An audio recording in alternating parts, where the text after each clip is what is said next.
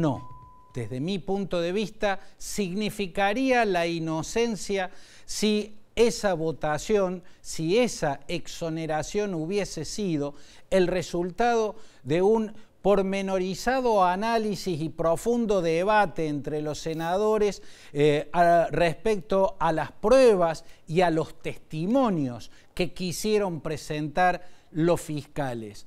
Pero como esas pruebas documentales y esos testimonios fueron bloqueados por la Casa Blanca con la aprobación y el refuerzo de los senadores republicanos, fue un juicio político en el cual la parte acusadora no pudo exponer el grueso de los elementos probatorios, o sea, las pruebas documentales y los testimonios que debieron ser parte de este proceso. La pregunta es, ¿pero debían ser parte sí o sí de este proceso? Y para responderlo habría que aclarar lo siguiente. Normalmente eh, desde la antesala de este impeachment y durante este impeachment eh, se habló del tema como si en la historia de los Estados Unidos solo hubiese habido tres juicios eh, políticos el eh, de Andrew Johnson a mediados del siglo XIX, el de Bill Clinton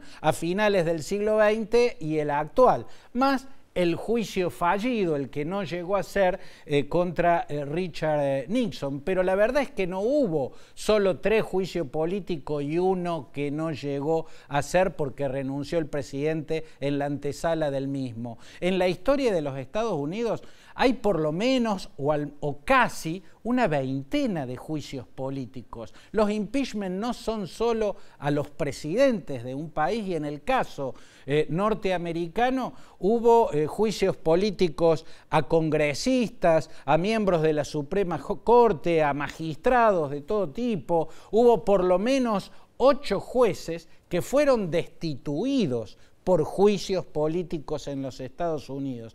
Y entiendo que en todos los juicios políticos que hubo en Estados Unidos, siempre la parte acusadora, acusadora pudo presentar en el Congreso las pruebas y los testimonios que intentaba o necesitaba presentar. En este caso, la Casa Blanca eh, vetó, bloqueó, obstruyó esa presentación y los senadores republicanos con su mayoría eh, legitimaron esa prohibición. Por lo tanto, sin haber podido analizar en profundidad y debatir en profundidad sobre las pruebas y los testimonios, es imposible poder considerar que el resultado del juicio implica la inocencia. Implica sí la exoneración, porque los senadores republicanos tenían la mayoría.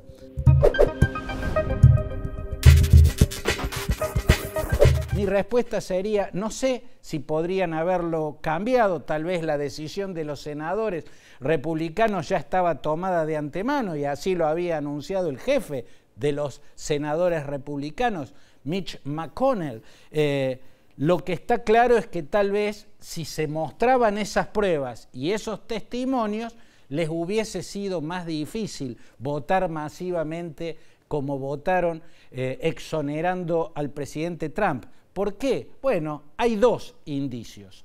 El primero, el libro que escribió John Bolton y que fue adelantado en uno de sus párrafos claves por el diario The New York Times. En ese párrafo cuenta el ex consejero de Seguridad Nacional, que no es un hombre de la izquierda antirepublicana y anti-Trump, es un ultraconservador, un halcón ultraconservador. En ese párrafo, John Bolton cuenta cómo el presidente Trump le dijo a él con todas las palabras que iba a demorar la ayuda económica aprobada por el Congreso a Ucrania hasta que el gobierno ucraniano de Volodymyr Zelensky acepte investigar y hacer pública esa investigación a Joe Biden, lo cual hubiera interferido en el proceso electoral porque Biden es eh, precandidato demócrata. Ese es el primer indicio de que los testimonios y las pruebas podrían dificultarle la exoneración que habían decidido ya los senadores republicanos. El segundo indicio es la censura en sí misma. si las pruebas y los testimonios no hubiesen tenido contenidos lapidarios para Donald Trump, no hubiese obstruido la presentación y se hubiese permitido que, como todos los demás juicios políticos en la historia de los Estados Unidos, hubieran tenido lo que tiene que tener todo juicio, pruebas y testimonios.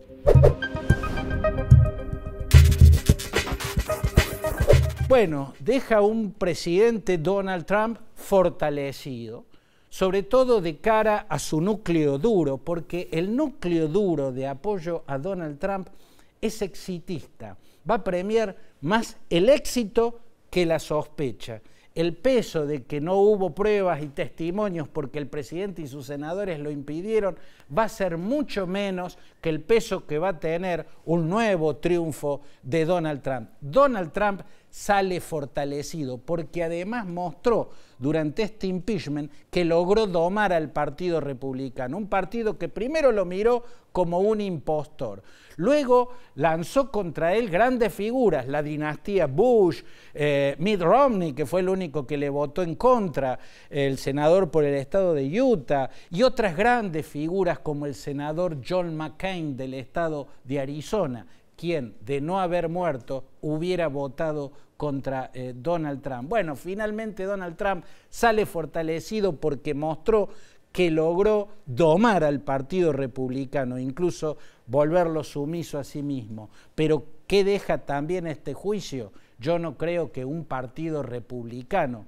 fortalecido, de cara a la historia, los senadores que exoneraron a Trump, habiendo impedido antes que no se presenten las pruebas ni los testimonios, me parece que le van a dejar una mancha a ese partido. Un partido que en la década del 70 del siglo XX le dejó claro a Richard Nixon que no iba a ser cómplice de él, que si las pruebas del Watergate lo ameritaban, ellos iban a votar destitución.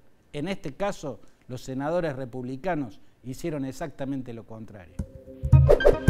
thank you